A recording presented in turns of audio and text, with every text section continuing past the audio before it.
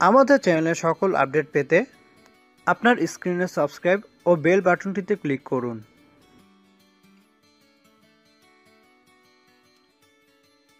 গর্ভধারণ। একটি নারী এবং পরিবারের জন্য আকাঙ্ক্ষিত বিষয়।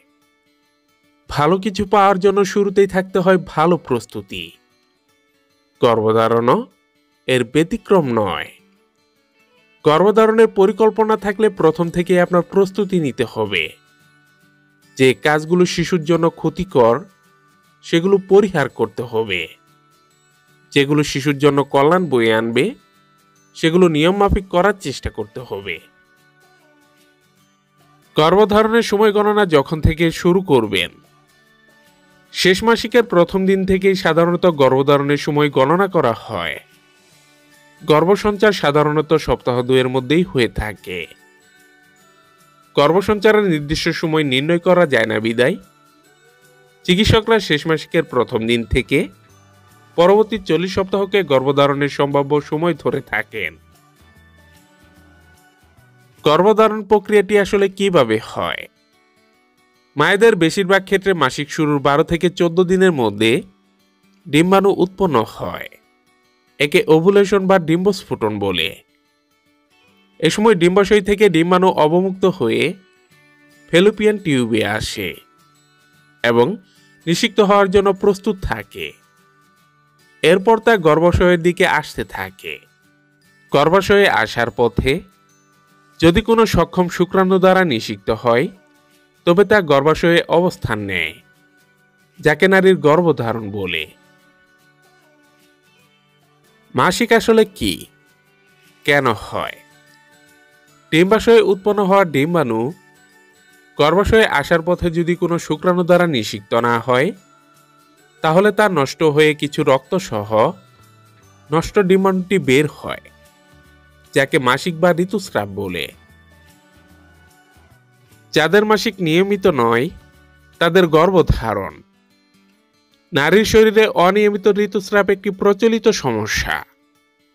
সাধারণত একজন নারীর জীবনে ঋতুচক্র শুরু হওয়ার পর থেকে একুশ দিন থেকে ৩৫ দিনের মধ্যে যেটি হয়, সেটি নিয়মিত ঋতুস্রাব। আর যদি একুশ দিনের আগে বা পঁয়ত্রিশ দিনের পরে হয়, তবে সেটিকে অনিয়মিত ঋতুস্রাব বলে।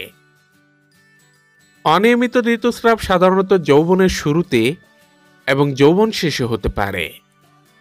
যৌবনের শুরুতে সাধারণত বারো থেকে ২০ বছর বয়সে কারও শরীরের ইস্ট্রোজেন ও প্রজেস্টন হরমোন যদি অপরিপক্ক থাকে, তবে অনিয়মিত ঋতুস্রাব হয়।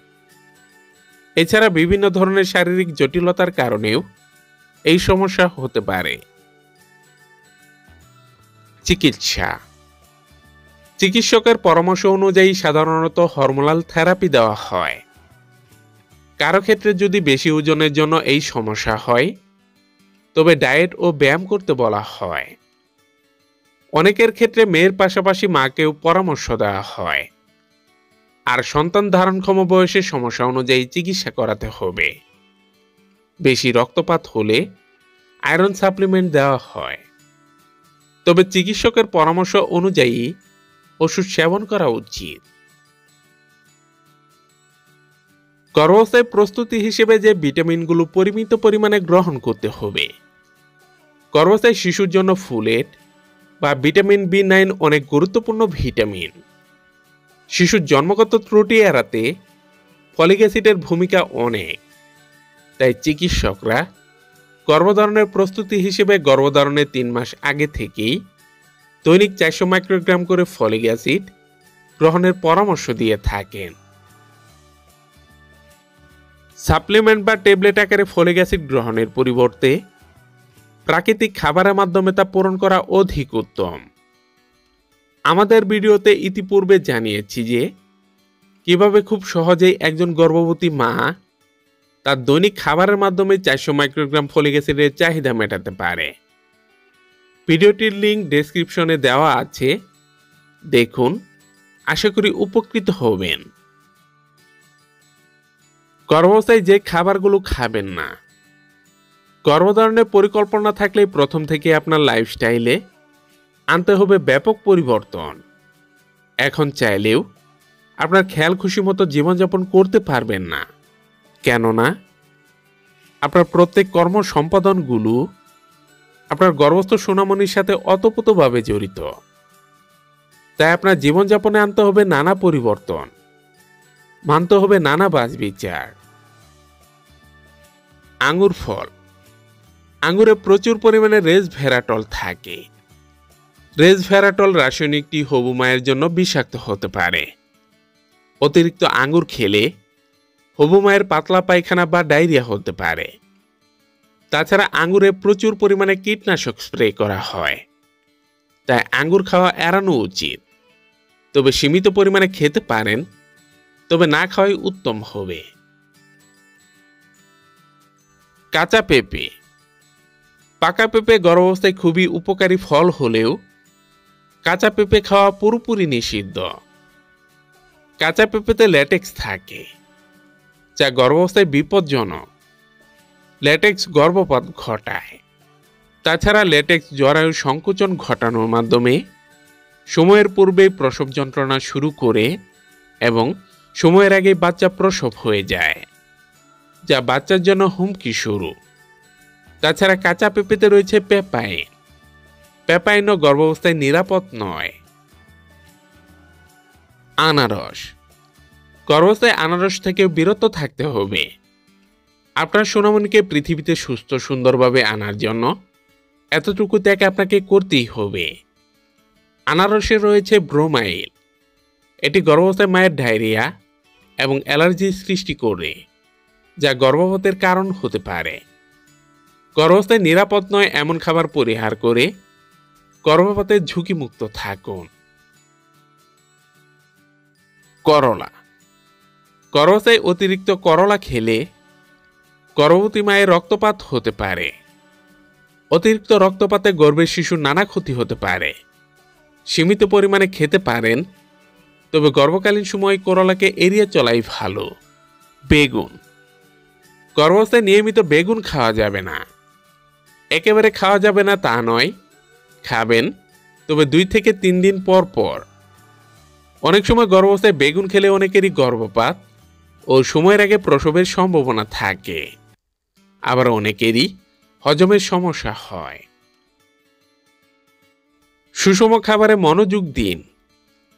শিশু সঠিক বৃদ্ধির জন্য দরকার। গর্ভাবস্থা মায়ের সুষম খাবার নিশ্চিত করা। গর্ভাবস্থায় শিশু পুরোপুরি আপনার উপরই নির্ভরশীল।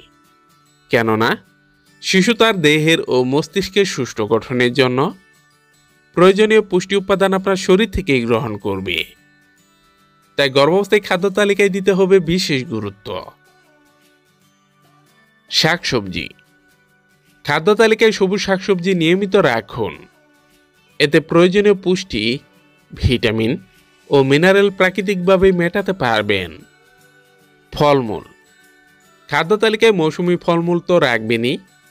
সাথে আপেল, কমলা, তরমুজ, কলা রাখতে পারেন। এগুলো আপনার গর্ভকালীন শারীরিক ঘাটতি মারতে সাহায্য করে। সাথে গর্ভস্থ শিশু ডেভেলপমেন্ট করতে খুবই প্রয়োজনীয়।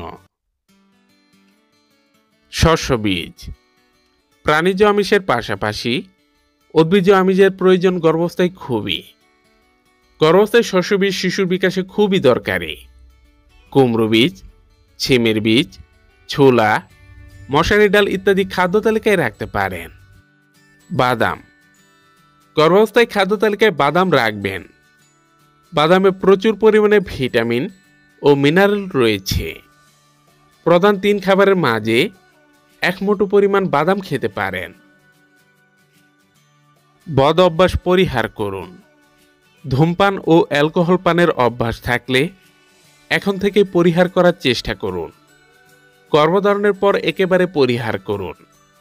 নিজের এবং পরোক্ষ ধূমপান উভয় গর্ভাবস্থায় ক্ষতিকর। গর্ভপাত ও অকালে শিশুর জন্মের অন্যতম কারণ ধূমপান ও মদ্যপান।